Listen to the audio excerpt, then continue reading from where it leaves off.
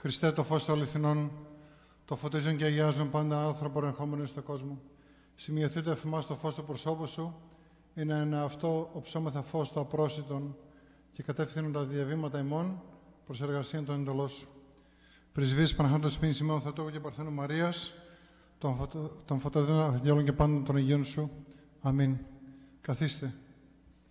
Καταρχήν να σας καλωσορίσω και όσοι βρισκόσαστε εδώ σήμερα, αλλά και όσους αυτούς, όλοι εσάς που μας παρακολουθείτε από το διαδίκτυο, να σας καλωσορίσω σε αυτό το πνευματικό διπορικό που θα ξεκινήσουμε σήμερα, με την χάρη του Αγίου Πνεύματος, τις ευλογίες του Σεβασμετά του Μετροπολίτη μας Αμερικής κ. Δημητρίου και του γεροντά μας του Παύλου και θα προσπαθήσουμε να αναλύσουμε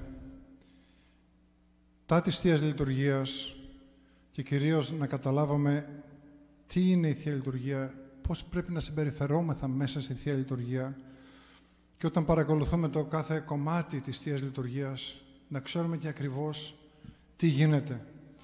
Πολλοί από εμάς έχουμε μεγαλώσει μέσα στην Ορθοδοξία, πιο πολλοί από εμάς έχουμε μεγαλώσει μέσα στην Ορθοδοξία και όμως πολλές φορές αν μας ρωτήσει κάποιος τι είναι η Αγία, η Αγία Αναφορά, ίσως να μην ξέρουμε να απαντήσουμε.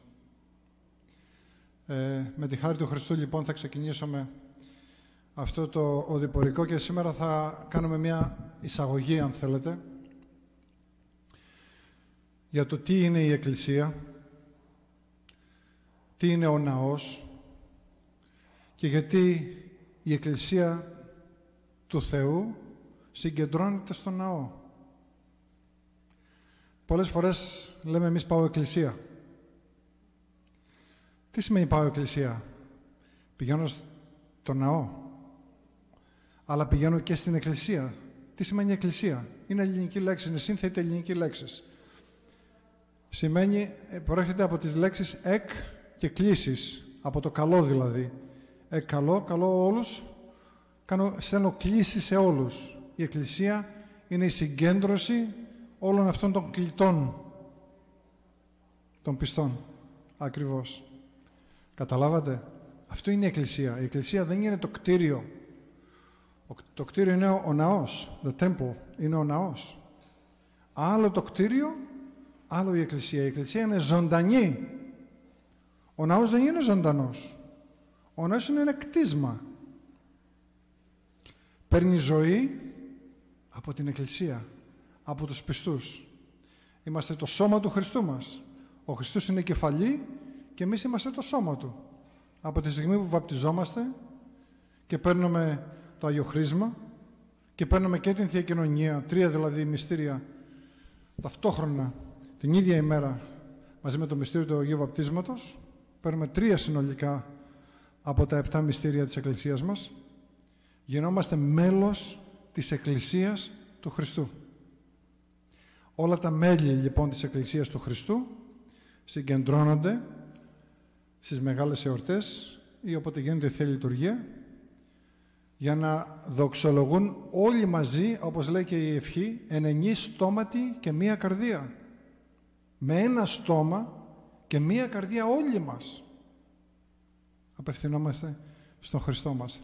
Θα τα παρακολουθήσουμε όλα αυτά σιγά σιγά και νομίζω με τη χάρη του Θεού θα καταλάβουμε πάρα πολλά πράγματα τα οποία θα μας βοηθήσουν να δυναμώσουμε την πίστη μας στο Χριστό. Αυτό είναι το κυριότερο απ' όλα.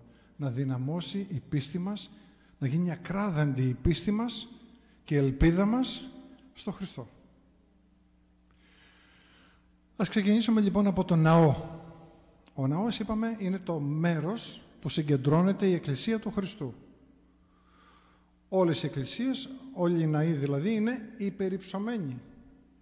Το έχω αναφέρει και άλλες φορές αυτό, γιατί ο άνθρωπος φεύγει πνευματικά από τα επίγεια και ανεβαίνει προς τα επουράνια. Γι' αυτό όλοι οι ναοί έχουν σκαλιά απ' έξω και είναι όλοι υπερυψωμένοι. Δεν είναι στο επίπεδο του κόσμου. Η Εκκλησία, εμείς δηλαδή πιστοί, δεν ανήκουμε στον κόσμο. Είναι κάτι το οποίο πρέπει να το χωνέψουμε μέσα μας. Ζούμε μέσα στον κόσμο. Συμπεριφερόμεθα μέσα στον κόσμο. Συναλλασσόμεθα καθημερινά μέσα στον κόσμο. Δεν ανήκουμε στον κόσμο. Η Εκκλησία του Χριστού μας ανήκει στον ουρανό. Είμαστε ουράνιοι πολίτες. Γι' αυτό φεύγουμε από τα εγκόσμια και ανεβαίνουμε στα πνευματικά, στα υπουράνια. Αλλά και μέσα στον ναό, ο ναός αποτελείται από τρία μέρη, σωστά, από τον πρόναο, το κυρίως μέρος του ναού και το ιερό. Αυτά είναι διαφορετικά ονόματα από το ναό του Σολομόντος. Υπήρχε η αυλή, υπήρχε το θυσιαστήριο, που γίνανε όλες οι θυσίες, οι εξομολογήσεις κλπ. κλπ. Στην αυλή γίνονταν οι βαπτίσεις, όταν εξομολογείται ο άνθρωπος στους ιερείς και έδινε σύμφωνα με την αμαρτία του και το αντίτιμο, επήγαινε μετά έξω στην αυλή, που ήταν τα βαπτιστήρια, έβγαζε το, το, το, το, του και έμπαινε ολόκληρος μέσα στο, στο βαπτιστήριο να ξεπληθεί από την αμαρτία. Και βέβαια υπήρχε στο ναό του Σολομώντος υπήρχε και το, τα Άγια των Αγίων, το δικό μας το σημερινό, το ιερό. Αυτή είναι η, όχι η αρχική μορφή του ναού. Αυτή η μορφή έλαβε χώρα πολύ πιο μετά, αιώνες μετά. Στην αρχή το ιερό δεν υπήρχε καν τέμπλο, το ιερό ήταν στο μέσον και οι πιστοί όλοι ήταν γύρω-γύρω από το ιερό και παρακολουθούσαν από την εποχή των Αποστόλων. Και γίνεται η Θεία Λειτουργία και μεταλάμβαναν όλοι οι βεβαπτισμένοι. Όταν ξεκίνησε η, η λειτουργία των κατηχουμένων, όλοι οι κατηχούμενοι έβγαιναν από την Εκκλησία. Θα τα συζητήσουμε αυτά όταν θα έρθει η στιγμή. Δεν έμεναν μέσα στην Εκκλησία. Δεν έμεναν. Οι κατηχούμενοι έβγαιναν έξω και περίμεναν πότε θα τελειώσει η κατήχησή τους, πότε δηλαδή πνευματικά θα ήταν έτοιμοι να φτάσουν στην φώτιση. Ήταν ζωντανά αυτά τα γεγονότα τότε. Η κατήχηση δεν γινόταν απλώς και μόνο για να γνωρίσει ο άνθρωπος την Ορθοδοξία. Ζούσαν την Ορθοδοξία πριν ακόμα βαπτιστούν. Το μόνο που δεν μπορούσαν να συμμετάσχουν ήταν στην Αγία Αναφορά στη Θεία Κοινωνία. Δεν μπορούσαν να έχουν τα μυστήρια. Ε, ο ναός αυτός σιγά σιγά όμως άλλαξε μορφή ο ναός. Οι πιστοί πλέον δεν ήταν τόσο άγιοι όπως ήταν στους πρώτους χριστιανικούς αιώνες. Μεταφέρθηκε το, ο, ο ναός, το κέντρο του ναού μεταφέρθηκε εκεί που ήταν και για τους Εβραίους τα Άγια των Αγίων, που το, εμείς το λέμε σήμερα το Ιερό, το Άγιο Βήμα. Μετά μπήκε και το Τέμπλο, το οποίο διαχωρίζει τους πιστούς από τον θρόνο του Θεού. Δεν είμαστε άξιοι πνευματικά, δεν αντέχουμε να δούμε αυτά που συντελούνται μέσα στο Άγιο Βήμα. Και εμείς οι ιερείς, αποκρύπτει ο Χριστός πολλά πράγματα από εμάς και δεν είμαστε άξιοι να τα δούμε. Δεν μπορούμε, δεν αντέχει πνευματικά η ψυχή μας να δει τα τεκτενόμενα μέσα στο, κατά την Θεία Λειτουργία, μέσα στο Άγιο Βήμα.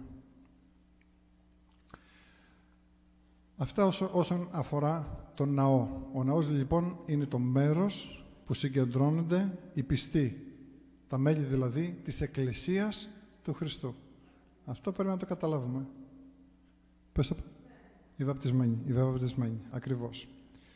Τα μυστήρια της Εκκλησίας μας όπως γνωρίζετε είναι επτά. Το πρώτο μυστήριο που παίρνει ο άνθρωπος είναι το μυστήριο της βαπτίσεως. Και όπως είπαμε πριν, παίρνει, την ημέρα εκείνη παίρνει τρία βαπτισμα, μυστήρια.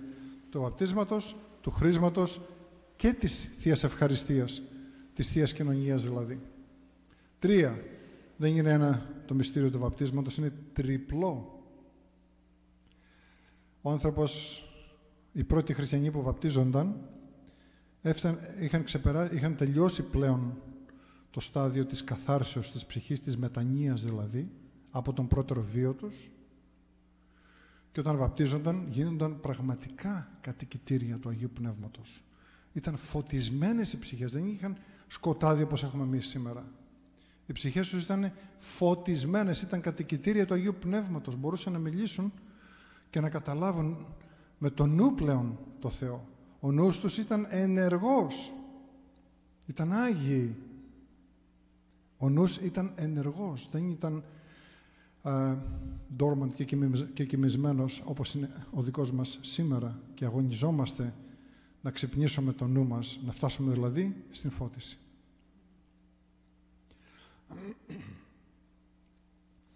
Το μεγαλύτερο από τα επτά μυστήρια, το πιο σημαντικό από όλα, είναι το μυστήριο της Θείας Ευχαριστίας. Μπορεί βέβαια να χρειαζόμαστε οπωσδήποτε το βάπτισμα, γιατί αυτό είναι που ανοίγει τα ουράνια για μας. Αλλά για να εισέλθουμε στα ουράνια, το βάπτισμα δηλαδή είναι, πώς θα, θα έλεγε κανείς, είναι ε, το, το τρένο που θα μας οδηγήσει εκεί πάνω. Αλλά για να βγάλουμε εισιτήριο και να μπούμε μέσα, χρειαζόμαστε όλα τα μυστήρια, κυρίως δε, κυρίως το μυστήριο της Θείας Ευχαριστίας. Όταν κοινωνά ο άνθρωπος, τι λέγει ο ιερεύς, μεταλαμβάνει ο δούλος ή η δούλη του Θεού, το Πανάγιον σώμα και αίμα του Κυρίου και Θεού και Σωτήρου Σιμών Ιησού Χριστού, εις άφεση αμαρτιών και ζωή αιώνιων. Δεν λέει θα μεταλαμβάνει τώρα και θα έχει αργότερα ζωή αιώνιων. Μεταλαμβάνει για να έχει από τώρα ζωή αιώνιων. Γι' αυτό είναι μυστήριο η Θεία Ευχαριστία. Δεν είναι κάτι τόσο απλό και απτό. Δεν είναι απλώς ότι το σώμα του, το, το, ο άρτος και ο ίνος μετατρέπονται σε σώμα και αίμα Χριστού. Είναι πολύ περισσότερο από αυτό. Ο άνθρωπος βρίσκεται ήδη μέσα, όταν μεταλαμβάνει, βρίσκεται ήδη μέσα στο σώμα του Χριστού. Και το σώμα του Χριστού, το ανθρώπινο σώμα του Χριστού, πού είναι; Δεν αναλήφθη στους ουρανούς. 40 μέρες μετά την Αναστασή Του, ο Κύριος αναλήφθη. Όταν εμείς είμαστε λοιπόν το σώμα του Χριστού, είμαστε κάποιο κύτταρο μέσα στο σώμα του Χριστού, βρισκόμαστε στον ουρανό. Ευρισκόμαστε στον ουρανό. Είμαστε πολίτες εκείνης της ουράνιας πολιτείας, της βασιλείας των ουρανών. Απλώς εδώ, παροδικά, ζούμε μέχρι να έρθει η στιγμή που θα γίνουμε πραγματικά πολίτες, θα μεταφερθούμε με το τρένο αυτό, στο οποίο θέλουμε όλοι να μπούμε μέσα, να πάμε μέσα στον ουρανό. Ο, η ψυχή λοιπόν του ανθρώπου αυτό έχει σαν σκοπό. Πώς θα γίνει πραγματικά ουράνιος πολίτης. Τα μυστήρια της Εκκλησίας μας είναι απαραίτητα, απολύτως απαραίτητα, ώστε ο άνθρωπος να, να γίνει κοινωνός της Βασιλείας των Ουρανών, να γίνει πολίτης, να γίνει βασιλεύων του βασιλέως. Δηλαδή, ο Κύριος είναι ο βασιλεύς των βασιλευόντων, εμείς θα είμεθα οι βασιλεύοντες.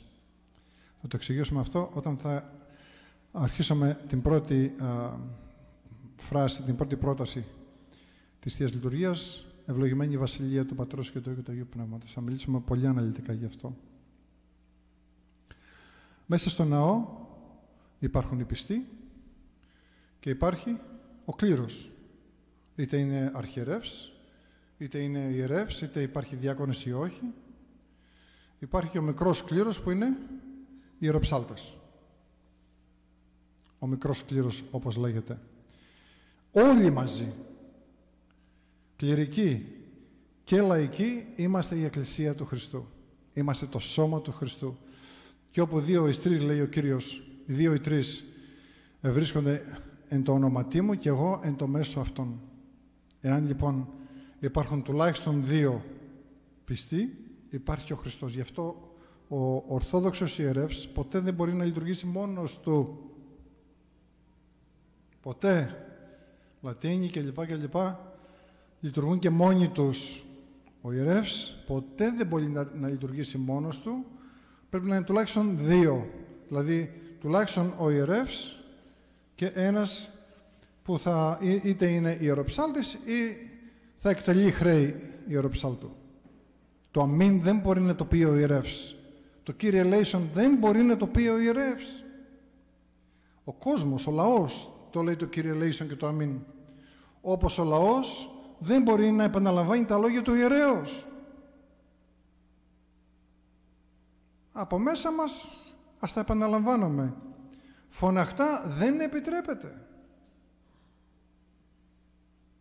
Γι' αυτό οι ιεροψάλτες καλούν στο Πάτερ ημών όλοι μαζί. Τότε μόνο μπορεί, γιατί το Πάτερ ημών είναι στο πληθυντικό. Πατέρα μας είναι όλοι μας δηλαδή πιστοί, επικαλούμεθα τον Πατέρα μας, τον Επουράνιο. Τα λόγια του ιερέως δεν επαναλαμβάνονται ε, φωναχτά. Από μέσα μας ας είναι ευλογημένο.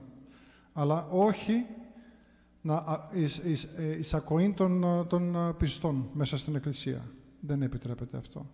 Γιατί; Γιατί απλούστατα οι λαϊκοί δεν έχουν χειροτονία. Οι λαϊκοί δεν έχουν χειροτονία.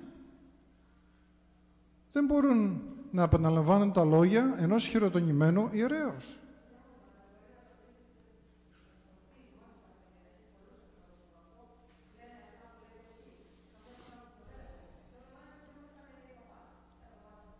Πρέπει να, ναι, εύχομαι ορισμένοι να παρακολουθούν τώρα από το διαδίκτυο.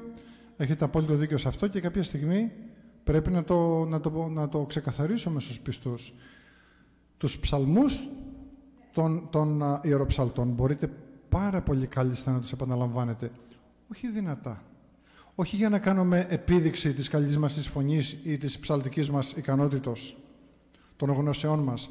Το λέμε για την ψυχή μας, και το επαναλαμβάνουμε να το κάνουμε μόνο εμείς, να το ευχαριστιόμαστε εμείς. Δεν χρειάζεται να κάνουμε ιδιαίτερη, ιδιαίτερη επίδειξη μέσα στην Εκκλησία ότι ψάλλουμε πολύ όμορφα κλπ. κλπ.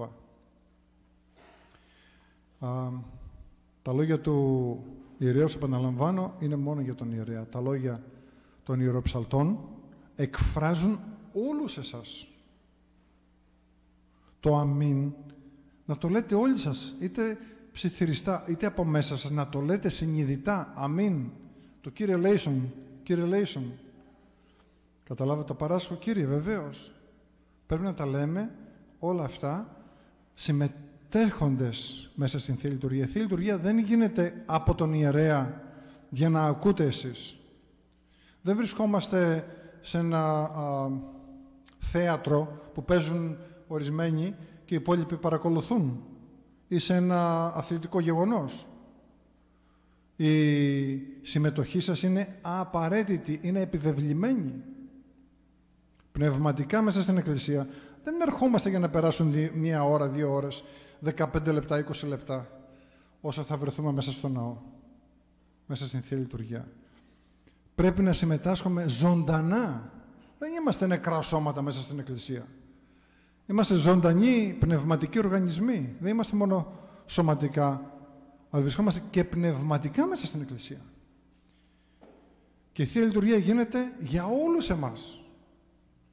Ο ιερεύς επαναλαμβάνει εις τόπον του αρχαιρέως ή ο αρχαιρεύς εις τόπον και τύπων Χριστού επαναλαμβάνει τα της αρχιεροσύνης του Κυρίου δεν μπορεί ο κόσμος να επαναλαμβάνει τα λόγια του ιερέως ή του αρχαιρέως. Αυτά είναι τα λόγια του Χριστού του ίδιου. Εμείς έχουμε την χειροτονία την, την, της ιεροσύνης, που είναι ένα από τα μυστήρια της Εκκλησίας μας, τα οποία δεν μπορούν να τα έχουν όλοι. Δεν μπορεί να τα έχουν όλοι. Και μας έχει τάξει εμάς η Εκκλησία, ο Χριστός δηλαδή, να υπηρετούμε εσάς. Καταλάβατε; Επειδή οι αρχιερείς δεν μπορεί να είναι παντού και, και πάντοτε, μόνο ο Χριστός μας είναι παντού και πάντοτε, οπότε έχουν θεσπίσει και βοηθούς εμάς τους ιερείς, τους μικρούς Αποστόλους, που αντιπροσωπεύουν την τάξη των 70 Αποστόλων, των μικρών Αποστόλων, ενώ οι αρχιερείς αντιπροσωπεύουν την τάξη των Αποστόλων, των 12. Και τελούμε την Θεία Λειτουργία και για εμάς θα ακούσουμε υπέρ των ημετώρων αμαρτιών και του, του λαού αγνοημάτων. Εμείς πρέπει να τα ξέρουμε όλα. Είμαστε υπεύθυνοι να τα ξέρουμε όλα και είμαστε υπεύθυνοι που, βρισκόμαστε μέσα στο ιερό. Και για να εισέλθει ο ιερεύς μέσα στο ιερό πρέπει να τρέμουν τα γόνατά του. Αν δεν τρέμουν τα γόνατά του, καλύτερα να πάει σπίτι του. Γιατί το Ιερό μέσα, το Άγιο Βήμα μέσα, είναι ο θρόνος του Χριστού. Σας το έχω εξηγήσει αυτό και άλλες φορές. από, από τις ομιλίες. Είναι ο θρόνος, ο ζωντανός θρόνος του Χριστού και τη στιγμή της Θείας Λειτουργίας είναι ενωμένο το Άγιο Βήμα με το επουράνιο Άγιο Βήμα. Είναι ένα και το αυτό. Άγιοι Άγγελοι και Αρχάγγελοι ανεβοκατεβαίνουν ασταμάτητα. Εμείς δεν τα βλέπουμε αυτά. Και μπαίνουμε μέσα στην εκκλησία και νομίζουμε άντε πότε να περάσει η ώρα και αγανακτούμε καμιά φορά άμα ο ιερεύς κρατάει πάρα πολύ ε, το κήρυγμά του, οι, οι ιεροψάλτες τα λένε με μεγάλη επίδειξη ούτω καθεξής κλπ. κλπ. Δεν είναι αυτός ο λόγος που ερχόμαστε μέσα στην Εκκλησία. Ερχόμαστε μέσα στην Εκκλησία για να μεταφερθούμε στο επουράνιο βήμα και να συμμετάσχουμε από εδώ στα, στα γενόμενα πάνω στο επουράνιο βήμα. Τη στιγμή της Θείας Λειτουργίας δεν είμαστε στα εγκόσμια. Αυτό πρέπει να το χωνέψουμε, να το καταλάβουμε. Δεν βρισκόμαστε στα εγκόσμια. Εγώ θυμάμαι την πρώτη φορά λαϊκός που ήμουνα, πριν με χειροτονήσει ο, ο γεροντάς μας ο Παύλος, με φώναξε Τετάρτη και Πέμπτη Κυριακή των νηστιών να πάω μέσα στο ιερό και να παρακολουθώ από εκεί. Ακριβώς από εκεί μέσα. Από δεξιά να παρακολουθώ την Θεία Λειτουργία. Και όταν έβλεπα τον γέροντα που λειτουργούσε, ήταν Μάρτιος, τέλειο Μαρτίου. Και να τρέχουν οι υδρότες, εγώ τα, τα πόδια μου τρέμανε μέσα στο ιερό. Τι κάνω λέω εδώ πέρα; Γιατί βρήκα, βρέθηκα εδώ μέσα; Πώς, πώς είναι δυνατόν; Όταν έβλεπα την ένταση του, του, του γεροντά μας του Παύλου στη Θεία Λειτουργία, ε, λέω, λέω, θα, θα, θα ανοίξει για με καταπιεί τώρα. Δεν, σας τα λέω όπως είναι, δεν σας λέω για να μου πείτε μπράβο. Σας λέω αυτά που ένιωθα μέσα μου. Έτρεμα όλο, τα γόνατά μου τρέμανε. Τώρα, τέλος πάντων.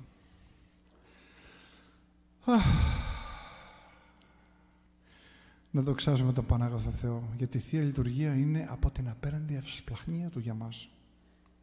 Όλα τα μυστήρια της Θείας Λειτουργίας, αυτό που λέγαμε σήμερα στο κήρυγμα, ότι η Θεία Λειτουργία είναι από την ευσπλαχνία του Χριστού μας να μας πάρει από εδώ, να μας ξεχωρίσει από τον κόσμο και να μας μεταφέρει στα επουράνια.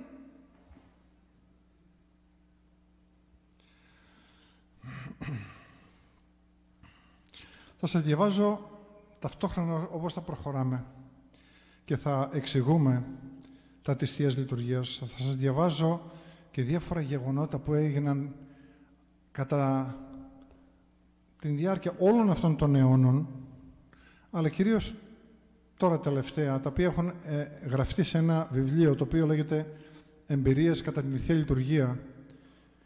Είναι του, είναι του πατρός α, Στεφάνου Παπαδοπούλου, ε, το οποίο όταν το διάβασα πολλά χρόνια πίσω, πάνω από 15 χρόνια ίσως, είχα συγκλονιστεί ε, με τα γεγονότα που ήταν γραμμένα εκεί μέσα, σε σημείο που η κερατονία θα το θυμάται. Είχαμε κάνει μια ομιλία πάνω στο βιβλίο αυτό, μια σειρά ομιλιών. Νομίζω είχε πάρει ένα χρόνο περίπου. Ήτανε, το θυμάσαι Μαρία μου; Ε, είχαν γραφτεί οι ομιλίες αυτές, αλλά χαθήκανε. Δεν πειράζει. Ξέρω ο Θεός τι κάνει. Λοιπόν, ο ιερεύς έχει το χάρισμα της, της, το μυστήριο πάνω του, το χάρισμα από το Άγιο Πνεύμα της α, α, χειροτονίας, της ιεροσύνης. Και το χάρισμα αυτό είναι ιδιαίτερο, πάρα πολύ ιδιαίτερο. Χρειάζεται στον ιερέα, όχι στο πρόσωπο, στην ιεροσύνη την οποία φέρνει ο ιερεύς, χρειάζεται πάρα πολύ μεγάλος σεβασμός. Γιατί βλέποντας τον ιερέα, είναι σαν να βλέπουμε μπροστά μας τον Χριστό, τον ίδιο. Και δεν μιλάω για τον Θεόδωρο, μιλάω για τον ιερέα Θεόδωρο. Όχι εγώ σαν πρόσωπο, αλλά η ιεροσύνη την οποία έλαβα από τα διαχειρός του Αρχιεπισκόπου μας, του, του γεροντά μας του Παύλου. Και πρέπει να δίνουμε την ανάλογη προσοχή και τον ανάλογο σεβασμό στον ιερέα. Γιατί όπως προσκυνάμε τις εικόνες των Αγίων και το προσκύνημα αυτό δεν είναι για τον Άγιο τον ίδιο ακριβώς, είναι για την χάρη που έχει από το Άγιο Πνεύμα. Γιατί ξέρετε, όλα τα μυστήρια, και κάνω μία παρένθεση εδώ, όλα τα μυστήρια της Εκκλησίας μας επενεργούνται από το Άγιο Πνεύμα. Ο Χριστός μας έφυγε. Σας συμφέρει, λέει, να φύγω εγώ για να σας στείλω, λέει, τον Παράκλητο, το Άγιο Πνεύμα, ο οποίος θα σας διδάξει, λέει, όλη την αλήθεια και το Παράκλητο Πνεύμα είναι που επενεργεί όλα τα μυστήρια. Δεν το λέμε βασιλεία φοράνε παράκλητο πνεύμα της αληθείας ο πανταχού πάνω και τα πανταπληρών, ο θησαυρός των αγαθών και ζωής χορηγός. Είναι, ο παράκλητος είναι αυτός που μας δίνει τη ζωή. Όχι μόνο την σωματική και την πνευματική ζωή. Ακριβώς. Ελθέ και σκήνωσαν, έλα και κατασκήνωσε λέει μέσα μας. Είναι, είναι φοβερή προσευχή αυτή. Και καθάρισαν εμάς από πάσης κυλίδος. Το μυστήριο της Θείας, ευχαρι... της θείας εξομολογήσεως, μετανοίας εξομολογήσεως. Ποιος το επενεργεί; Παράκλητος, το Άγιο Πνεύμα. Αυτός είναι που συγχωρεί τις αμαρτίες μας. Εδώ λέει ένα, ένα γεγονός που είχε γίνει. Οι ηγεμόνες και βασιλιάς της Σερβίας μετά το 1815 ήταν ο Μήλος. Κάποια Κυριακή πήγε να λειτουργηθεί μαζί με την οικογένειά του σε παρεκκλήσει των ανακτόρων. Εκείνη όμως την Κυριακή δεν λειτουργούσε κανονικός εφημέριο των ανακτόρων που ήταν υπέργυρος και άρρωστος, αλλά ένας 30χρονο νεοχειροτονημένος ιερεύς. Όταν τελείωσε η θεία λειτουργία, ο, ιερε... ο λειτουργός ιερεύς μοίρασε το αντίδωρο. Πρώτος πλησίασε ο βασιλιάς, που ας σημειωθεί ήταν και μεγάλος στην ηλικία. Δίδοντας όμως το αντίδωρο, ο ιερεύς τράβηξε το χέρι του για να μην το φιλήσει ο ηγεμόνας. Τότε ο γεροβασιλιάς τον κοίταξε αυστηρά και του είπε «Δώσε μου το χέρι σου, πάτερ μου, και άλλη φορά μην το τραβήξεις, διότι δεν φιλώ το δικό σου το χέρι. Την ιεροσύνη σου ασπάζομαι. Την ιεροσύνη του Χριστού προσκυνώ και ασπάζομαι, που είναι πιο μεγάλη και από μένα και από σένα». Η ιεροσύνη του Χριστού μας είναι το μεγαλύτερο αξίωμα που μπορεί να έχει άνθρωπος πάνω στη γη. Ε, θυμόμαι ο, ο Άγιος Κοσμάς ο Ιτωλός λέει άμα δω λέει βασιλέα λέει άμα δω λέει άγγελο λέει και ιερέα στο δρόμο θα προσκυνήσω λέει τον ιερέα όχι τον άγγελο γιατί οι άγγελοι δεν έχουν ιεροσύνη. Την αρχαιοσύνη του Χριστού μας δεν την έχουν οι άγγελοι, δεν έχουν οι άνθρωποι κατ' οικονομία Κυρίου. Πρέπει λοιπόν να δίνουμε την ανάλογη προσοχή και σεβασμό στον, στον, στην ιεροσύνη του ιερέως, στην ιεροσύνη αυτού. Ο Άγιος Ιωάννης ο Δαμασκηνός λέει εδώ ο, ο πατήρ Στέφανος ο Άγιος Ιωάννης ο Δαμασκηνός μας λέει ότι η Θεία Λειτουργία ονομάζεται και Θεία Μετάληψης ονομάζεται και Θεία Κοινωνία και ούτω καθεξής. Έχει διάφορα ονόματα, αλλά είναι ένα και το αυτό. Η Θεία Λειτουργία γίνεται για την Θεία Κοινωνία. Χωρίς Θεία Κοινωνία δεν υπάρχει Θεία Λειτουργία. Και τα άχραντα μυστήρια, ακριβώς. Άχραντα γιατί είναι, δεν είναι φτιαγμένα από χέρια ανθρώπων. Τα άχραντα μυστήρια είναι άχραντα, είναι αχυροποίητα δηλαδή. Δεν είναι φτιαγμένα από χέρια ανθρώπων οι Λατίνοι όταν δήθεν ευλογούν το, τον, την, την, την όστια, εγώ λέει, καταλάβατε, εμείς επικαλούμεθα την χάρη του Αγίου Πνεύματος. Είναι άχραντα τα μυστηριά μας, είναι αχυροποίητα τα μυστηριά μας. Ο Άγιο, το Άγιο Πνεύμα κατεβαίνει και μετουσιώνει το σώμα και το, το, το, τον άρτο και τον ίνο σε σώμα και αίμα Χριστού. Όχι ο ιερεύς ούτε η ιεροσύνη του ιερέως, ούτε η, η, η αρχιεροσύνη του αρχιερέως. Το Άγιο Πνεύμα κατεβαίνει κάτω και μετουσιώνει τον Άρτο και τον Γήνο. Και αυτό πρέπει να το, να το, να το καταλάβουμε. Ε, το γεγονός αυτό της, της, της Θείας Ευχαριστίας είναι ασύλληπτο. Είναι φοβερό το δώρο αυτό του Χριστού μας.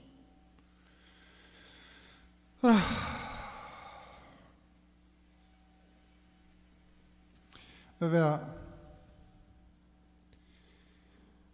η καθαρότης του ιερέως ή του αρχαιρέως παίζει πολύ μεγάλο λόγο στο να προσελκύσει την χάρη του Αγίου Πνεύματος. Υπάρχει εδώ ένα παραδειγματάκι, εδώ θα το διαβάσουμε πολύ πολύ πιο μετά, ε, το οποίο θα μας συγκινήσει αφάνταστα και εκεί θα καταλάβουμε το πόσο σημαντικό είναι να έχουμε ένα καθαρό αρχιερέα ή έναν καθαρό ιερέα. Και δεν μιλάμε τώρα από τις απλές της αμαρτίες. Θύμωσα, στενοχωρήθηκα, ε, είχα κακολογισμό για κάποιον και ούτω καθεξής, τα οποία ο ιερεύς θα εξομολογείται ούτως ή άλλως. Μιλάμε για μεγάλα αμαρτήματα. Ο ιερεύς ή ο αρχιερεύς δεν πρέπει να έχει μεγάλα αμαρτήματα. Αυτά κολλείουν τη χάρη του Αγίου Πνεύματος από το να, να κατέλθει και να, και να ευλογήσει. Λέει ο, ο Άγιος Ένιος ο Χρυσόστομος, όταν ανοίγει ο ιερεύς το ιερατικό, λέει, πρόσεχε λέει ο ιερεύ, σε ποιον μεταδίδεις τα Άγια της Αγίας, τα άχραντα μυστήρια. Και όμως παρακάτω λέει, και εσύ λέει ο, ιερέ, ο, ο πιστέ λέει, πρόσεχε λέει από πιανό ιερέω στα χέρια κοινωνάς. Δεν είναι απόλυτο ότι θα κατέλβει το Άγιο Πνεύμα να ευλογήσει το, το, το, το να μετουσιώσει τον, τον Άρτον και τον Νίνο. Δεν είναι απόλυτο. Όταν ο ιερεύς έχει α, παραβεί δόγμα της Εκκλησίας και έχει πέσει στην αίρεση, είναι δυνατόν να κατέβει το Άγιο Πνεύμα; Κατεβαίνει. Δεν κατεβαίνει. Το τι θα κάνει ο πιστός, ο Χριστός με τις ψυχές των πιστών αυτών είναι δικό του θέλημα του Χριστού μας τι θα κάνει ο Κύριος. Αλλά ο ιερεύς ο οποίος ευρίσκεται μέσα στην αίρεση δεν μπορεί να κατεβάσει το Άγιο Πνεύμα. Δεν μπορεί το Άγιο Πνεύμα να ευλογεί την αλήθεια και το ψεύδος. Το φως και το σκοτάδι. Είναι αδύνατον. Γι' αυτό και ο πιστός, όταν, και το ίδιο πράγμα σημαίνει και με το πιστό, όταν μεταλαμβάνει ο πιστός. Έχει προετοιμαστεί ανάλογα. Ο ιερεύς κατέβασε το Άγιο Πνεύμα. Μετουσιώθηκε ο άρτος και ο ίνος σε σώμα και αίμα Χριστού. Ο απλός ο πιστός μεταλαμβάνει σώμα και αίμα Χριστού. Ή μεταλαμβάνει στην καλύτερη περίπτωση άρτο και ίνο, ψωμί και κρασί. Και στη χειρότερη περίπτωση φωτιά και κόλαση μέσα του. Είναι απλά τα πραγματάκια. Δεν το λέει ο Απόστολος Παύλος. Στους Κορινθίους, πολλοί από εσάς λέει, επειδή κοινωνάτε λέει ανάξια, ασθενείτε, αρρωσταίνετε. Και μερικοί από εσάς λέει πεθαίνουν. Δεν το λέει ο Πατήρ Θεοδόρος, το λέει ο Απόστολος Παύλος. Διαβάσετε προς Κορινθίους να δείτε πώς πρέπει να κοινωνάει ο άνθρωπος. Είναι πάρα πολύ απλά τα πράγματα. Εδώ λέει, μου διηγήθηκε λέει ένας ιερεύς τι έζησε κάποια φορά μετά την κατάλυση της Θείας Κοινωνίας. Μετά την κατάλυση, τι εβίωσε. Αισθάνθηκε ολόκληρο το στήθος για την καρδιά του να μεταβάλλεται κατά τρόπο απερίγραπτο σε ένα απέραντο ουρανό. Στο κέντρο ήταν ενθρονισμένος ο Κυρίος δεξιά του Πανάχραντος Πανηγία Μητέρα του, γύρω του θρόνου αυτού όλοι οι προφήτες, οι δίκαιοι, οι προπάτορες, οι Απόστολοι, οι ιεράρχες, οι Άγιοι Πατριάρχες, οι άξιοι ιερείς και μοναχοί. Οι Άγιοι Πατριάρχες, όχι όλοι οι Πατριάρχες, οι Άγιοι Πατριάρχες, οι άξιοι ιερείς και μοναχοί, όχι όλοι οι ιερείς και οι μοναχοί. Οι ατέλειωτες στρατιές των μαρτύρων, οι ενασκείς οι διαλάμψαντες Άγιοι, οι θεοφόροι πατέρες των Οικουμενικών Συνόδων, οι Άγιοι Ανάργυροι, οι εν το κόσμο διαπρέψαντες Άγιοι οι άπειρες στρατείες των αγγέλων, των αρχαγγέλων, των χερουβίμ, των σεραφείμ, θρόνων κυριοτήτων. Τι να σας πω. Οι ταξιαρχίες να δορυφορούν και τον Κύριο και τους Αγίους και τον ουρανό και όλους τους ανθρώπους και όλη την Εκκλησία και τα πάντα. Και κάτω από όλους αυτούς είδε μεριάδες μεριάδων ψυχές, ζώντων και γεγυμμένων. Το παρακολουθήσατε τώρα τι διάβασα. Είδε μεριάδες μεριάδων ψυχές, ζώντων και κεκοιμημένων. Δεν είναι μόνο οι, οι, οι κεκοιμημένοι στον ουρανό. Είναι και, το είπαμε και από την αρχή, είναι και οι ζώντες. Είναι και οι ζώντες.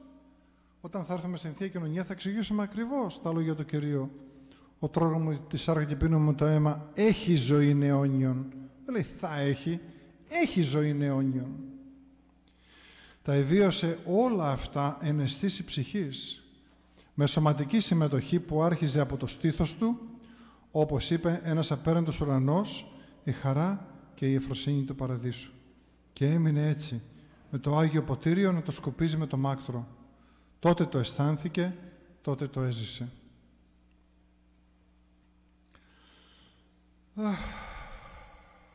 Ένα άλλο να πάρουμε λίγο παραπάνω δύναμη. Ένας συγγενής μου, λέει ο πατήρ Στέφανος, μου οδηγήθηκε το εξής περιστατικό. Ένας φίλος του γιατρός όταν ήταν μικρός, όπως όλα τα παιδάκια που γελάνε και μετακινούνται άσκοπα μέσα στον ναό, χωρίς να καταλαβαίνουν, έτσι και αυτός μαζί με το ξαδελφάκι του γελούσε και πήραζε τα άλλα παιδάκια που έτρεχε, πότε έτρεχε από εδώ και πότε έτρεχε από εκεί. Τελείωσε η εκκλησία, δηλαδή η Θεία Λειτουργία, πήραν το αντίδωρο, ο κόσμος έφυγε, αλλά αυτά τα δύο παιδάκια, ο γιατρός με τον εξαδελφό του, άρχισαν πάλι να τακτούν μέσα στον ναό. Τότε λοιπόν ακούγεται μια αυστηρή γλυκιά γυναικεία φωνή να τους λέγει «Στον οίκο του Ιού μου δεν παίζουν, δεν τρέχουν από εδώ και από εκεί, προσεύχονται, κοινωνούν, μεταλαμβάνουν το σώμα και το αίμα του, το αίμα του Ιού μου και φραπ τα αρπάζει από το σβέρκο και ρηπεί οφθαλμού βρέθησαν και τα δύο παιδάκια έξω στο προάβλιο του ναού. Από εδώ μέσα ξαφνικά βρέθηκαν απ' έξω. Και λέει ο γιατρός, σε μένα να έρθουν να πούνε αν υπάρχει ή δεν υπάρχει Θεός. Σε μένα μίλησε ο Θεός διαμέσου της Περαιγείας Θεοτόκου. Αυτά εν ολίγης για να καταλάβουμε πώς πρέπει να συμπεριφερόμεθα μέσα στον ναό. Σας το έχω πει και άλλη φορά, νομίζω, είχα κάνει ένα κήρυγμα ε, και θα τα ξαναπούμε πάλι αυτά, το «Εν του Κυρίου Δεϊθόμεν», πέρα της άνωθεν ειρήνης, όπως αρχίζουν τα ειρηνικά δηλαδή, πώς πρέπει ο άνθρωπος να βρίσκεται πνευματικά μέσα στην Θεία Λειτουργία και να συμμετάσχει ζωντανά στα τεκτενόμενα. Δεν είναι κάτι το οποίο είναι μια παράσταση που τη βλέπουμε να ευχαριστηθούμε. Είναι μια... Η Θεία Λειτουργία είναι ένα γεγονός το οποίο είναι, σας το έχω πει πολλές φορές, άρρηκτα συνδεδεμένο με την θυσία του Χριστού μας. Στην Θεία Λειτουργία ζούμε ολόκληρη τη ζωή του Χριστού μας. Ολόκληρη. Τον γεννάμε το Χριστό στην Αγία Πρόθεση. Μεγαλώνει ο Χριστός στην Αγία Πρόθεση.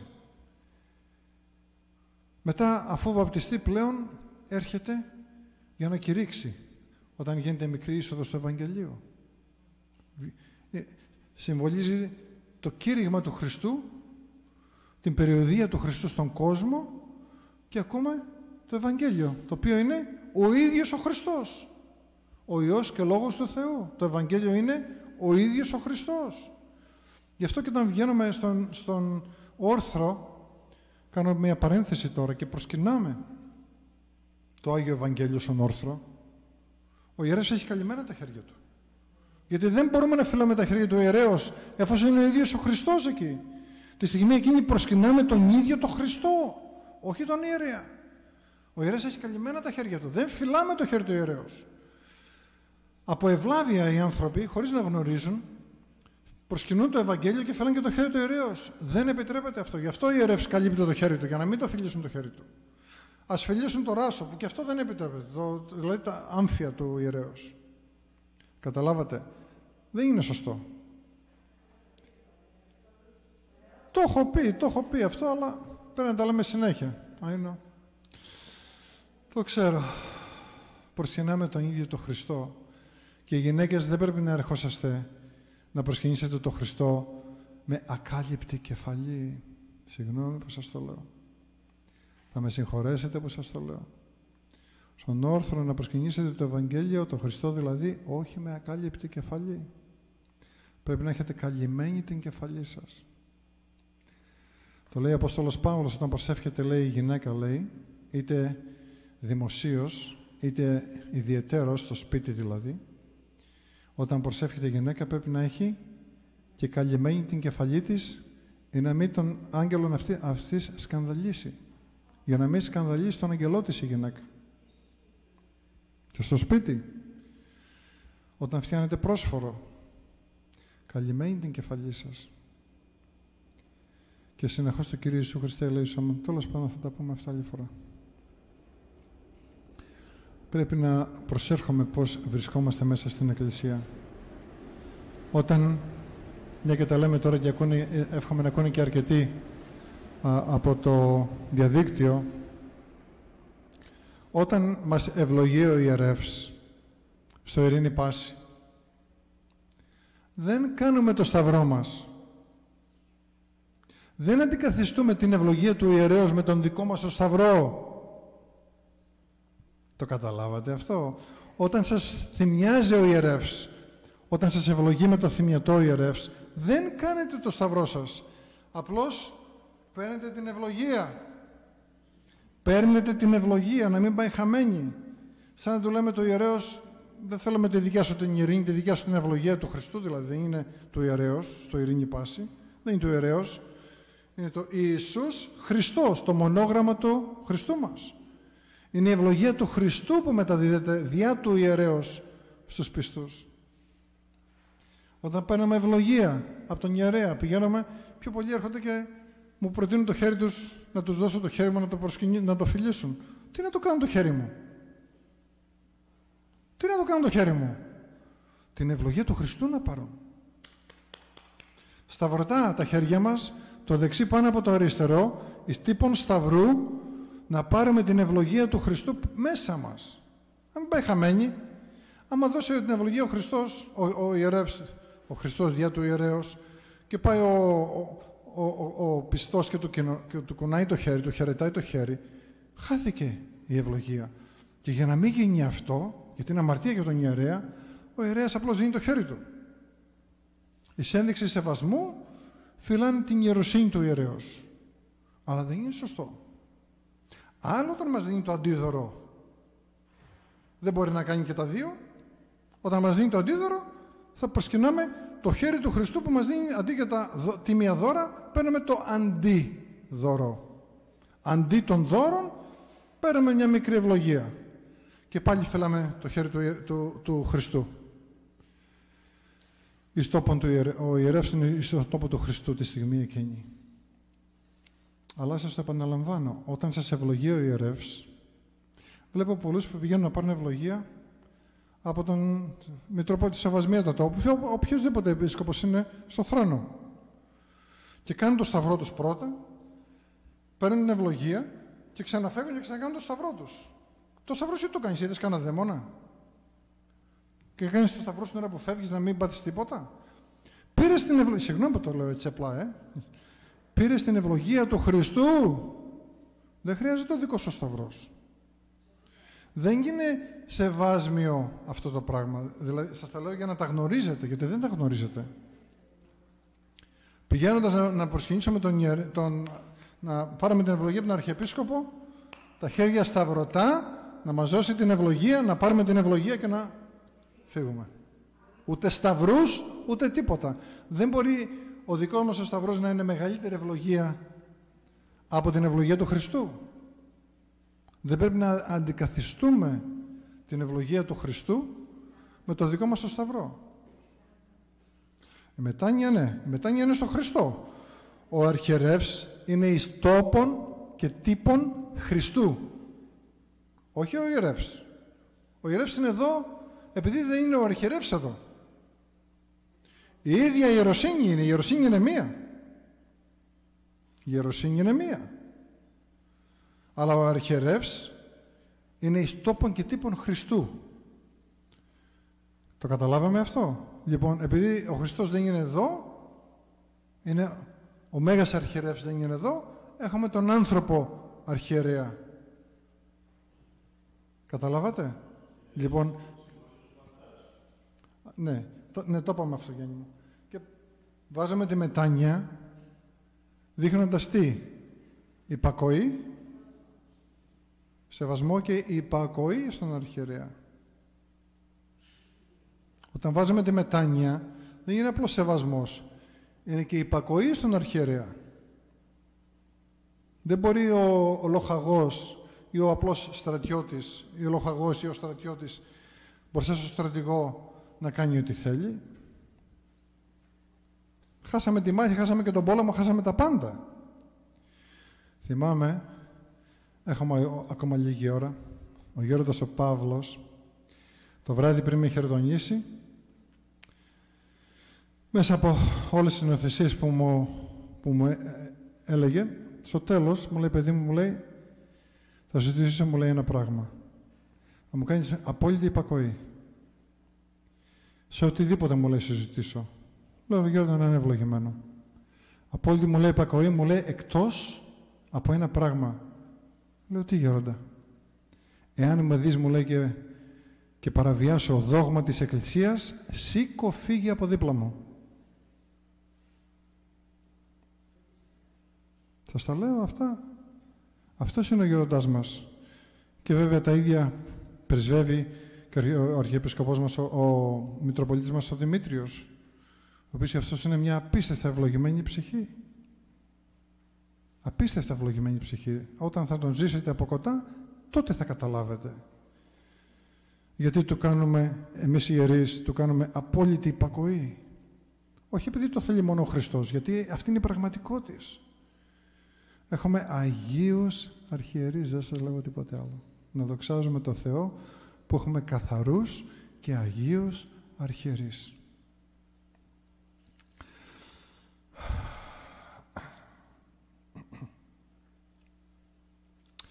Λέγει εδώ ένα γεγονός και θα τελειώσω με αυτό και θα αρχίσουμε ερωτήσεις αν θέλετε.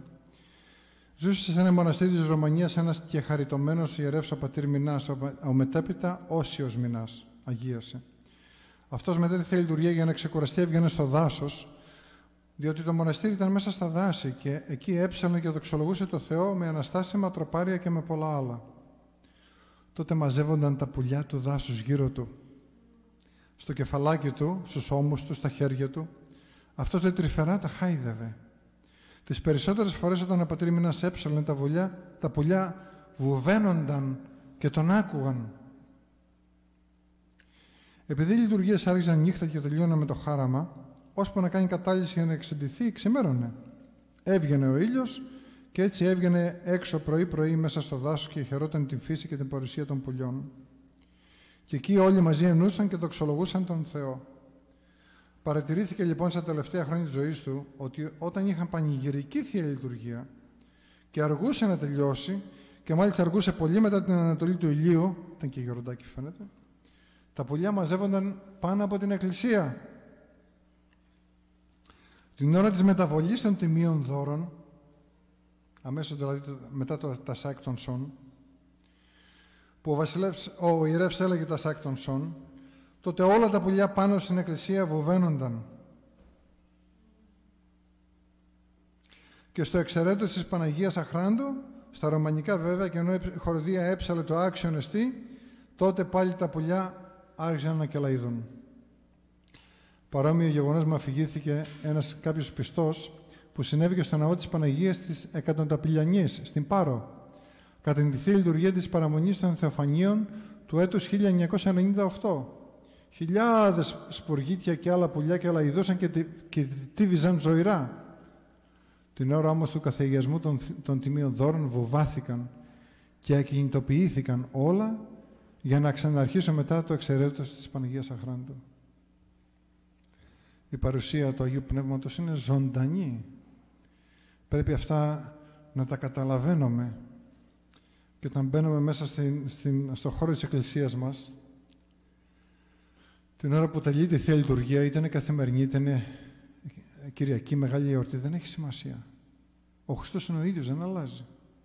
Η συμπεριφορά μας πρέπει να είναι τέλεια. Να ζητάμε το Χριστό. Να ζητάμε το Χριστό μέσα στη Θεία Λειτουργία. Να ζητάμε να ενωθούμε με το Χριστό μέσα στη Θεία Λειτουργία. Αλλιώς πάνε χαμένες οι ώρες. Ξέρετε, υπάρχει ένα αστείο, ε; Ε, το οποίο όμως είναι και, είναι και πραγματικό της. Οι προτεστάντες λέει όταν αρχίζει κάποιο, λέει, κάποια δικιά τους α, ακολουθία και οτιδήποτε, Ρωτάνε, λέει, πότε θα αρχίσει; Για να πάνε πριν αρχίσει. Εμείς οι Ορθόδοξοι ρωτάμε τι ώρα θα τελειώσει η Θεία Λειτουργία για να πάμε 10-15 λεπτά μετά, πριν το τέλος της Θείας Λειτουργίας. Δυστυχώς. Αυτή είναι η πραγματικότητα η πνευματική μας. Πότε θα πάμε, θα πάμε λίγο πριν να τελειώσει η Θεία Λειτουργία, να, πάρουμε, να ανάψουμε το κεράκι μας, να πάρουμε το αντίδωρο και να νομίζουμε ότι τα έχουμε καλά με τον Θεό. Αν, αν πάμε στα τελευταία 15 λεπτά, θα πάρουμε το 10% από την ευλογία του Θεού. Και άμα θα θυμώσουμε κιόλας γιατί κοιτάμε το ρολόι επειδή ο ιερεύς έχει αργήσει και πρέπει να πάμε για μπάνιο, θα φύγουμε χειρότερα από ότι μπήκαμε μέσα στην Εκκλησία. Θα φύγουμε πιο σκοτεινιασμένοι από ότι μπήκαμε μέσα για να φωτιστούμε. Και όταν πολλές φορές μου διαμαρτύρονται από πίσω τελείωνε άργησες,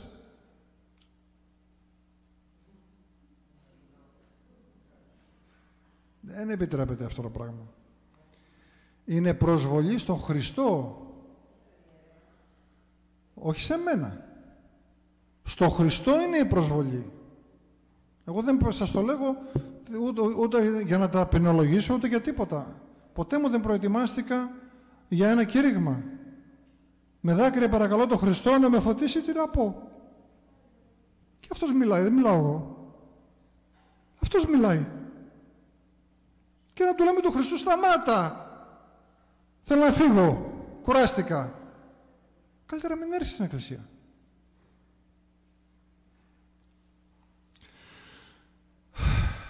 Έχετε καμία ερώτηση; Σας ζάλισε τώρα αντί να κάνουμε ευχάριστο κηρύγμα σας, σας τα ψέλνω που λένε.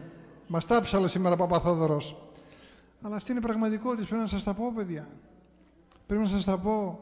Πρέπει να ξυπνήσουμε όλοι μας πνευματικά, κλήρος και λαός. Να εγερθούμε πνευματικά, γιατί έρχεται κατακλυσμός. Και αν εμείς δεν προσευχόμαστε, πού θα τη βρούμε τη δύναμη, θα πάμε στο σούπερ μάρκετ να πάρουμε 10 κιλά πνευματική δύναμη; Ε, θα την εξαγοράσουμε νομίζετε; Για πέστε μου καμιά ερώτηση τώρα, άντε. Σας ζάλισα εγώ.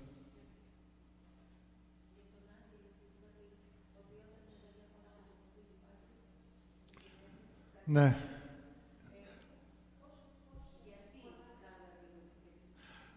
Τα μαλλιά της γυναίκας είναι η ομορφιά της γυναίκας. Είναι το κάλυμα της γυναίκας. Κυριολεκτικά.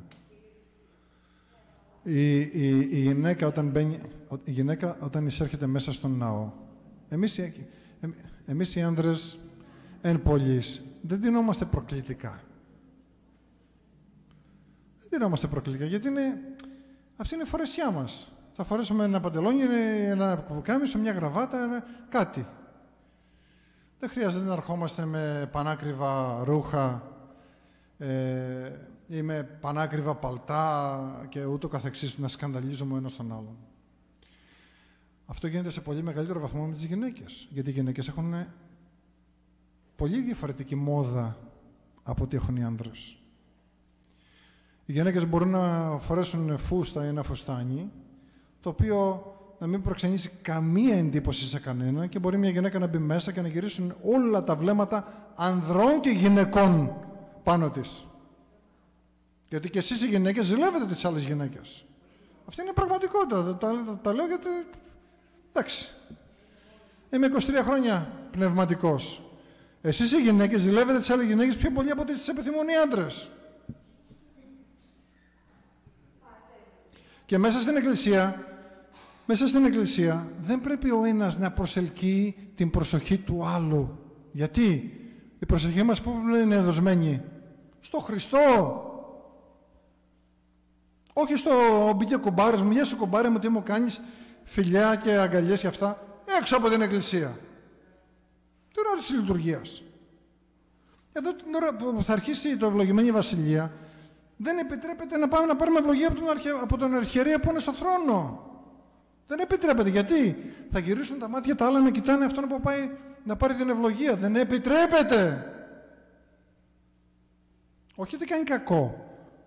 Δεν επιτρέπεται γιατί οι άλλοι θα αποσπαστούν η προσοχή τους από τον Χριστό και τη Θεία Λειτουργία στο πώς θα πάει αυτός, αν θα κάνει το σταυρό του ή αν θα κάνει μετάνια ή αν θα χαιρετήσει τον, τον αρχιερέ και ούτω καθεξής. Δεν πρέπει να, να, να, είμαστε, να, να, να γινόμαστε κέντρο προσοχής καθόλου κανενός μέσα στην Θεία Λειτουργία. Ούτε αχ τι ωραία ρούχα φοράει αυτή, αχ τι ωραία κολόνια βάλε αυτός εδώ. Αυτά είναι κοσμικά πράγματα. Δεν είμαστε κοσμικοί. Είμαστε χριστιανοί ορθόδοξοι. Είμαστε άνθρωποι του Θεού. Είμαστε το σώμα του Χριστού. Ο Χριστός δεν φόρεσε ποτέ παλατένια ρούχα. Ούτε η Παναγία μας φόρεσε πανάκριβα ρούχα. Το χιτόνι του Χριστού η Παναγία τον έφτιαξε. Δεν τον έφτιαξε κανένας ράφτης. Απλά και ταπεινά.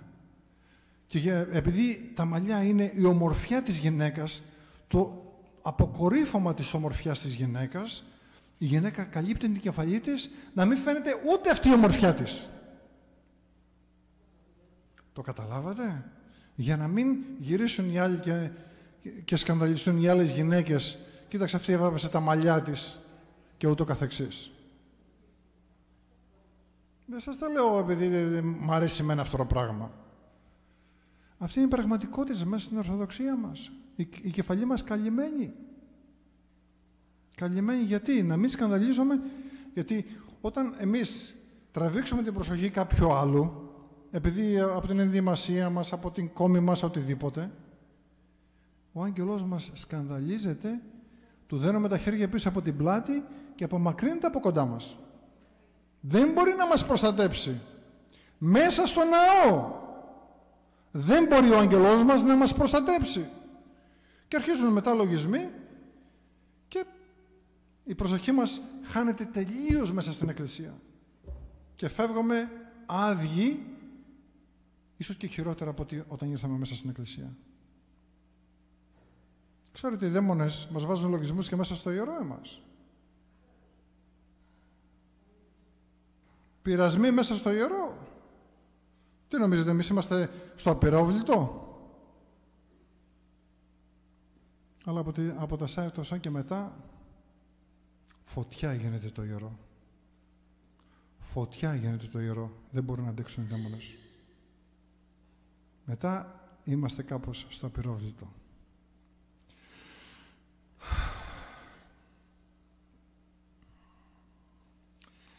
Θα σας διαβάσω άλλη μία, ε, άλλο ένα γεγονός.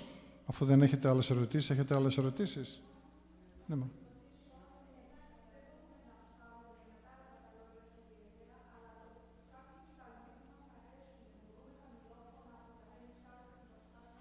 Πολύ χαμηλόφωνα. Σχεδόν, σχεδόν ε, μέσα μας. Τους ψαλμούς των ιεροψαλτών μπορείτε να τους λέτε. Αλλά και πάλι, όχι δυνατά.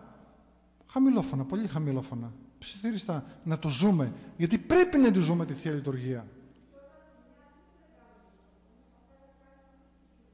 Παίρνουμε την ευλογία που μας δίνει ο ιερεύς. Εις το ειρήνη πάση και ούτω καθεξής.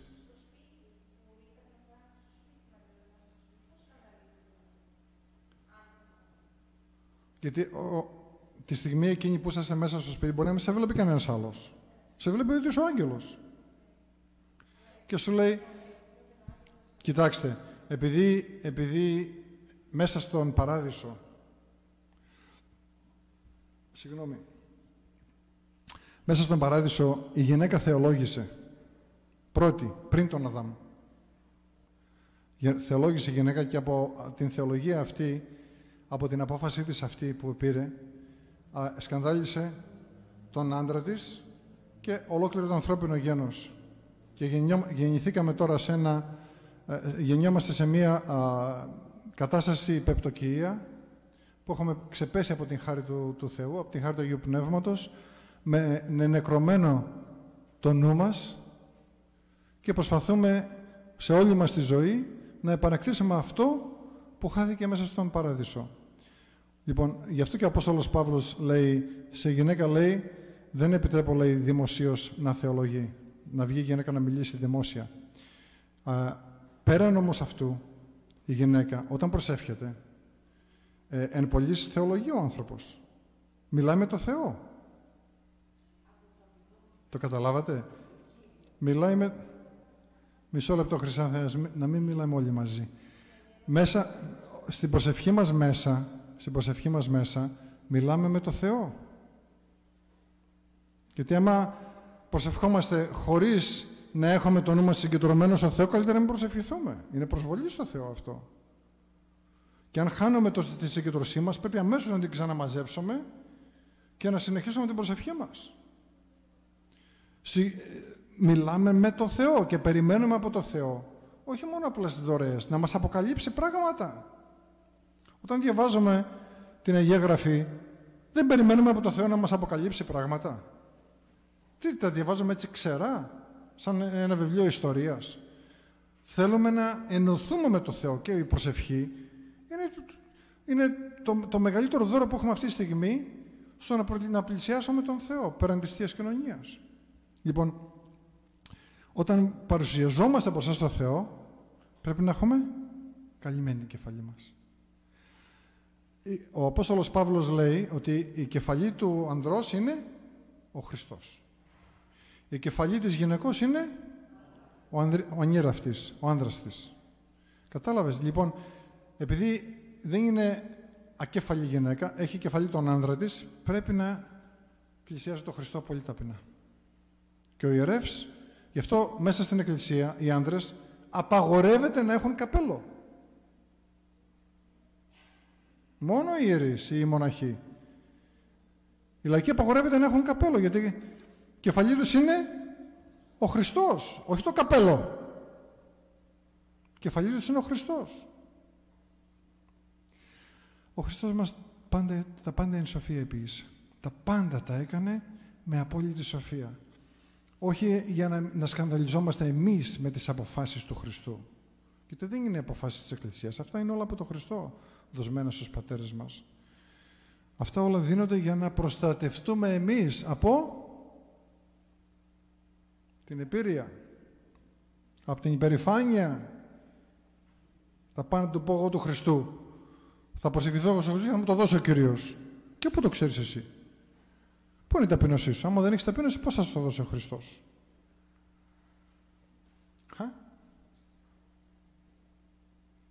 Η γυναίκα όταν σκεπάζει τον εαυτό της, δείχνει την ταπείνωσή της.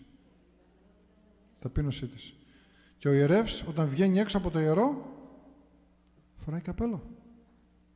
Δεν βγαίνει ακάλυπτος. Φοράει καπέλο. Σε ένα μοναστήρι ζούσε ένας ευλαβέστατος ιερεύς. Το μου το διηγήθηκε ο μακαριστός Γέροντας Γαβρίλ, ο οποίος ήταν για πολλά χρόνια και ηγούμενος της Ιεράς Μονής Διονυσίου στο Άγιον Όρος. Κοιμήθηκε ο, ο Γέροντας Γαβρίλ τώρα πριν από λίγο καιρό. Ο λιγογράμματος ήταν ο ιερεύς, αλλά κληρικός δυνατής πίστεως, μεγάλης αρετής και πολλών πνευματικών αγώνων, δηλαδή προσευχή, νηστεία κλπ.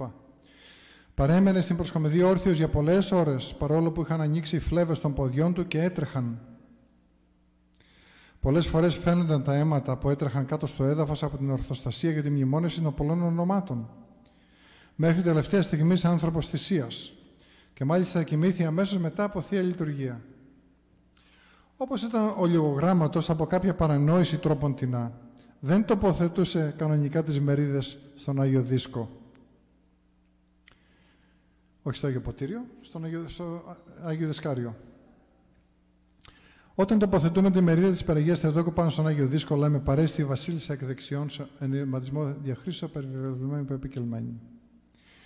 Ο Γέροντα Σιρεύσε νόμιζε ότι αφού λέγει εκ δεξιών σου, πρέπει να τοποθετεί η, η μερίδα της Παναγία δεξιά του αμνού. Όπως κοίταγε τώρα, την έβαζε δεξιά.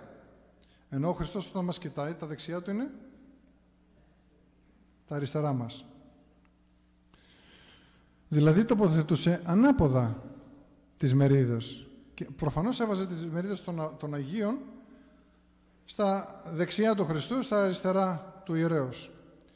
Κάποτε επισκέφθηκε την Ιερά Μονή ένας αρχιερεύς για να χαιρετονίσει έναν διάκο. Στους ένους μπαίνει ο αρχιερεύς στο ιερό βήμα, ντύνεται και εν συνεχεία πηγαίνει στην προσκομιδή, η οποία έχει ήδη ετοιμαστεί μέχρι κάποιο ορισμένο σημείο και από εκεί και ύστερα συνεχίζει ο αρχιερεύς πρώτος στις μνημονεύσεις, αυτός και μόνον αυτός. Πρόσεξε λοιπόν ο αρχιερεύς εκείνος ότι τις μερίδες τις είχε τοποθήσει ανάποδα ιερεύς. Δεν τις έβαλες καλά, πάτερ μου, τις μερίδες του είπε. Για έλα εδώ, πάτερ. Η Παναγία μπαίνει από εδώ και τα τάγματα μπαίνουν από εκεί. Δεν σου το είπε κανένας. Δεν σε είδε κανένας πώ κάνει την προσκομιδή. Και ήταν γέροντας, ε. Ναι, τότε απάντησε ο, ο γέροντας Ιρεύς, κάθε μέρα που λειτουργώ, διότι δεν υπήρξε ημέρα που να μην λειτουργήσει. Με βλέπει ο άγγελος ο διακονός μου, αλλά δεν μου είπε τίποτα. Το καταλάβατε; Έβλεπε τον άγγελό του. Συγγνώμη που είμαι αγράμματος, που σαν αγράμματος που είμαι, έκανα τέτοιο λάθος. Θα προσέχω τώρα και στο εξής. Ποιος, ποιος είπες ότι σε υπηρετεί εδώ, ρώτησε ο επίσκοπος. Δεν σε υπηρετεί μοναχός. Όχι, είπε ο, ο ιερεύς, άγγελος Κυρίου. Βουβάθηκε ο επίσκοπος, τι να πει. Έμεινε κατάπληκτος. Και βέβαια κατάλαβε ότι μπροστά του είχε ένα αγιασμένο κληρικό. Το μεσημέρι μετά την, μετά την τράπεζα, ο επίσκοπος αποχαιρέτησε τον ηγούμενο και τους υπολείπους μοναχούς και ανεχώρησε. Την άλλη μέρα νύχτα ακόμα, όταν πήγε όπως πάντα ο γέροντας ιερεύς στο Άγιο Βήμα για να κάνει την προσκομιδή, κατέβηκε και ο άγγελος Κυρίου. Ενώ προσκομούσε, παρατήρησε ο άγγελος πως ο ιερεύς έβαλε σωστά τις μερίδες. «Ωραία», του είπε ο Πάτερ, «τώρα τα έβαλες σωστά». Ναι, εσύ ήξερες το λάθος μου που έκανα τόσα χρόνια και γιατί δεν μου το έλεγες, γιατί δεν με διόρθωσες, ρώτησε τον αγγελό. Το έβλεπα, αλλά εγώ δεν έχω τέτοιο δικαίωμα. Δεν είμαι άξιος να διορθώνω ιερέα. Εγώ συνέχισε ο άγγελος, έχω εντολή από τον Θεό να διακονώ και να υπηρετώ τον ιερέα. Μόνο ο επίσκοπος έχει τέτοιο δικαίωμα.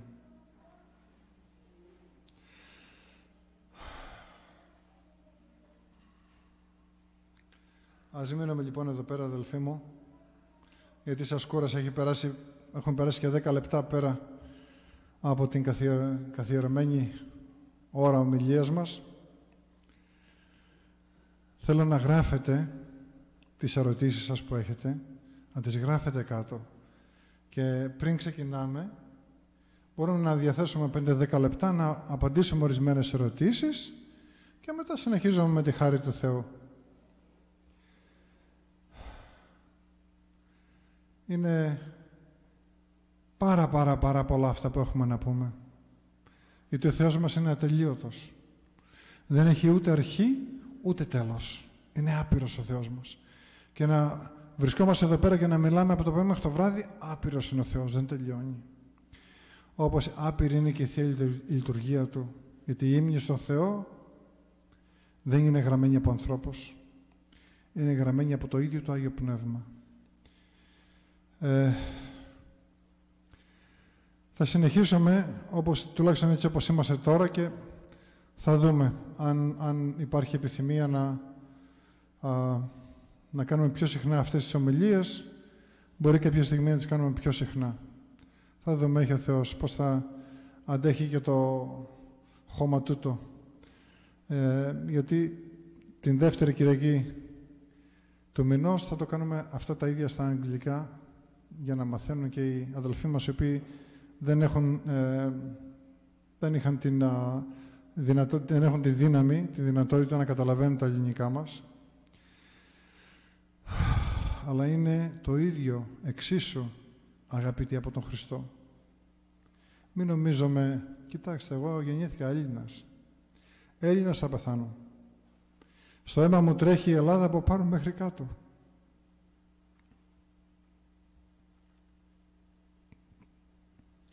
Αλλά είμαστε όλοι παιδιά του Χριστού.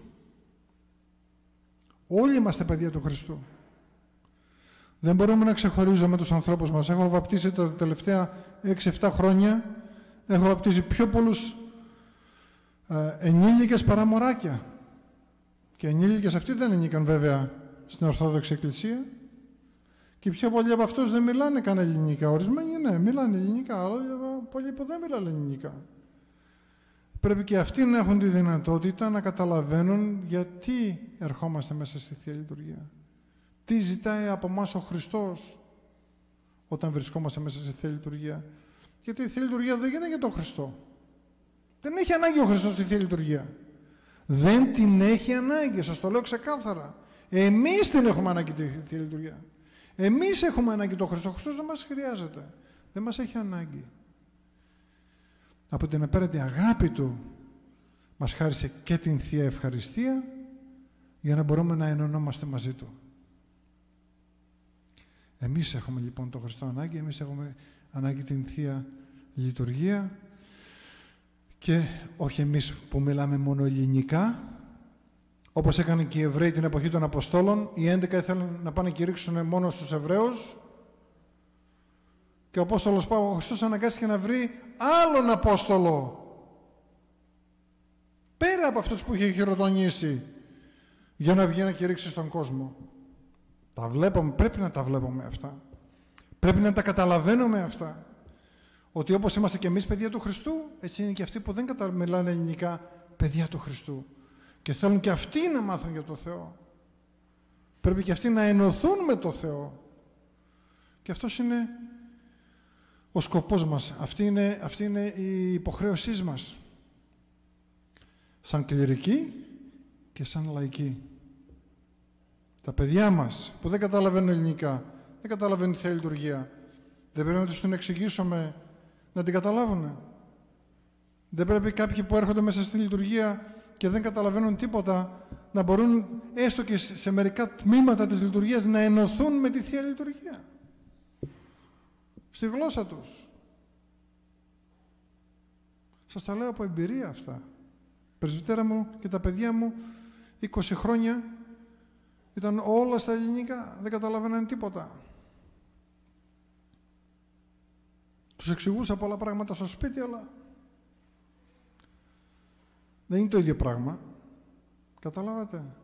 Και τώρα πηγαίνω πάρα πολύ συχνά πάνω στην Αγία Ανάληψη, γιατί και πέρα τα κάνουν όλα αγγλικά για να σε γλώσσα τους. Όπως και εμείς θέλουμε εδώ πέρα τα ελληνικά μας θέλουν και αυτή τη γλώσσα τους. Αλλά όμως δεν έχουν όλη τη δυνατότητα να πηγαίνουν εκεί πάνω. Οι Ρώσοι κατεβαίνουν κάτω. Αλλά όταν οι Ρώσοι είναι εδώ πάνω μαζί μας με τον Πάτερ Βίκτορα, δεν λέμε και Ρώσικα για αυτός. Δεν πρέπει αυτοί να ενωθούν με τη Θεία Λειτουργία. Συγχωρέστε με. Αυτά ήθελα να σας πω. Ας έχουμε μια ευλογημένη α, ημέρα σήμερα, ευλογημένο ολόκληρο το μήνα που πολιτικά αρχίζει από μεθαύριο. Ο Δεκέμβριος είναι ένας μήνας νηστείας, ένας μήνας συλλογής, ένας μήνας προσευχής. Είναι ένας μήνας προετοιμασίας να δεχτούμε τον Χριστό να γεννηθεί εδώ μέσα. Αν ο Χριστός δεν γεννηθεί εδώ μέσα, δεν καταφέραμε τίποτα, καλύτερα να μην, καλύτερα να μην είχαμε γεννηθεί. Τέλος πάντων.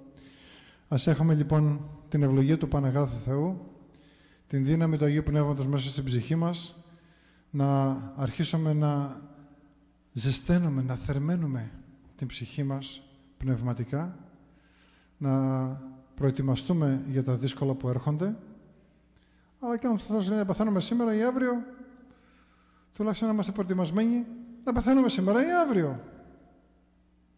Ποιος ξέρει πόσοι από εμάς θα ζουν να δουν αυτά που θα γίνουν. Θα τα ζήσουμε όλοι. Είναι υποχρεωτικό αυτό.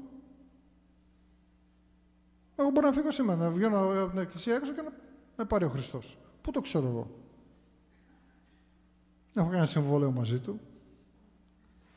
Λοιπόν, ας προετοιμαζόμαστε, ας ζεσταίνουμε τις μηχανές της ψυχής μας, να προεπαντήσουμε τον Χριστό μας όταν Αυτός θα μας καλέσει. Όποτε και όπου Αυτός θέλει να μας καλέσει, εμείς να είμαστε έτοιμοι, τίποτε άλλο. Και αυτά νομίζω βοηθάνε, τα παραδείγματα ειδικά, που έχει συλλέξει όλα αυτά τα χρόνια ο πατήρ Στέφανος θα μας δώσουν πολύ δύναμη να καταλάβουμε πολλά πράγματα γύρω από την εκκλησία μας, γύρω από την πίστη μας και να αρχίσουμε να αποκτούμε εκκλησιαστικό πνεύμα, εκκλησιαστικό φρόνημα. Να σκεφτόμαστε εκκλησιαστικά και όχι κοσμικά. Αυτό εύχομαι σε όλους μας. Η χάρη του Αγίου Πνεύματος να μας σκεπάζει και να μας φωτίζει όλους. Διευχών των Αγίων Πατέρων ημών, Κύριε Ιησού Χριστέ ο Θεός ημών, ελέησον και σώσον ημάς. Αμήν. Πορεύεστε εν ειρήνη.